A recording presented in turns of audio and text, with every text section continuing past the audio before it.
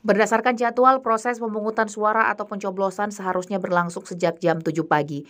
Namun terdapat dua TPS di Kota Pangkal Pinang yang mengalami pemunduran waktu dari yang seharusnya.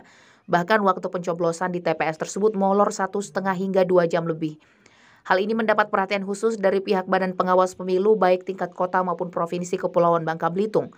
Ketua Bawaslu Provinsi Bangka Belitung Osikar mengatakan pihaknya akan menindaklanjuti laporan awal yang baru diterimanya tersebut dengan cara melakukan penelusuran bersama Panwascam di lokasi bersangkutan. Kira tindak lanjuti, apalagi takutnya masyarakat situ sudah antri kan. Oke, berarti kon ya Nah, itu, itu, itu, itu seperti apa itu? di luar teknis. Ya harusnya KPU segera mengambil sikap kebijakan ya karena ini terkait eh, jadwal ya, jadwal yang sudah ditetapkan dan disepakati memang jam 7 memang harus buka. Nanti kami tindak lanjutin sebagai informasi awal, kami telusuri ke TPS tersebut ya.